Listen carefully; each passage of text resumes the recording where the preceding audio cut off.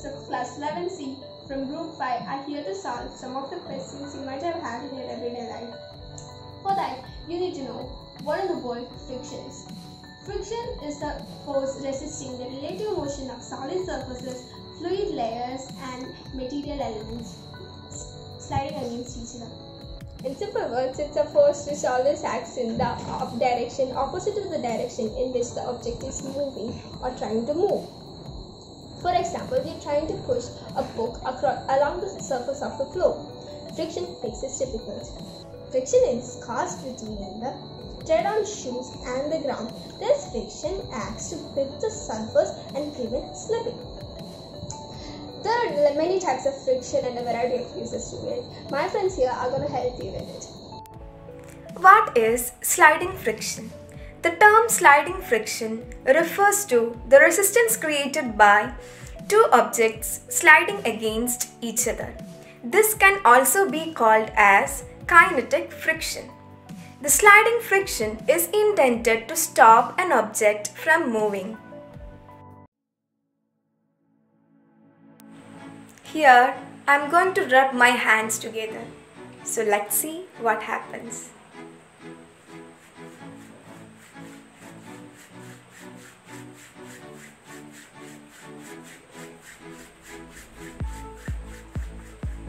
It becomes too hot. When you rub your hands together, the action of scraping the surface of your skin back and forth against each other causes the molecules in your skin to move a little faster. The faster the molecules move, the higher the temperature. So, the friction of rubbing your hands together makes them feel warmer.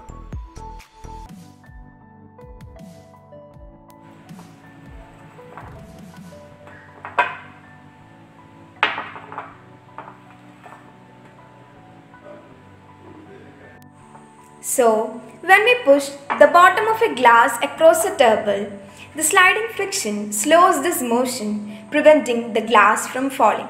But if the table is too smooth, the sliding friction will be less and thus the glass may fall. What is a static friction? It is force of friction acting on an object that doesn't move. If you push try to push on a block and it doesn't move, it means that it is held by a static friction and it is equal and opposite to your push. Example 1 is about how rice works on a static friction. Let us look.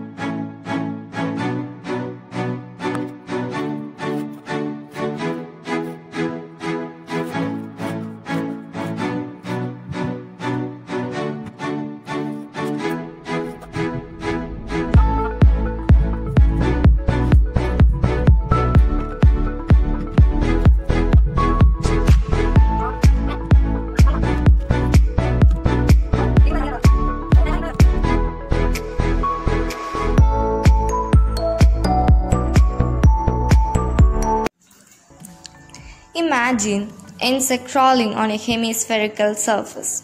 It can crawl up to a certain height. After crawling up to a certain height, it lies down. Why? We will find the answer.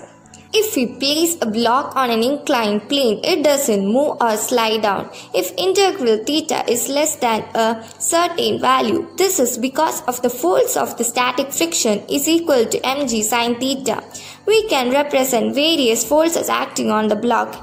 mg acting downwards. mg is a result into two triangular components. mg sine theta parallel to the plane and mg cos theta is perpendicular to the inclined plane. The component mg cos theta balances the component and, and mg sin theta balances the frictional force. The force of the static friction is given as F is equal to mg sin theta.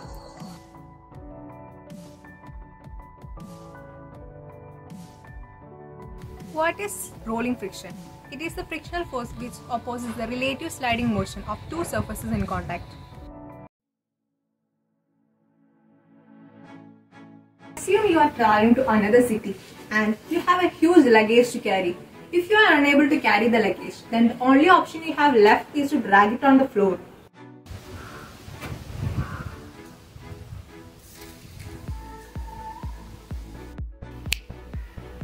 But what if we had wheels under it? Won't it be far easier to carry it around?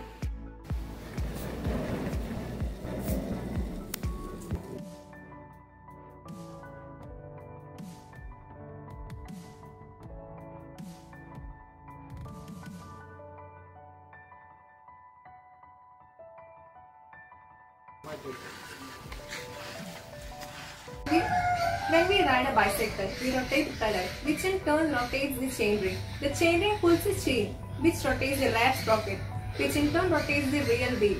The rolling friction from the ground applies force to the wheels, which prevent it from slipping. Fluid friction is a force that resists motion in fluids. Water pushing against a swimmer's body as they move through it and sucking of water through a straw are the examples of fluid friction. Hope this video was informative. Thank you.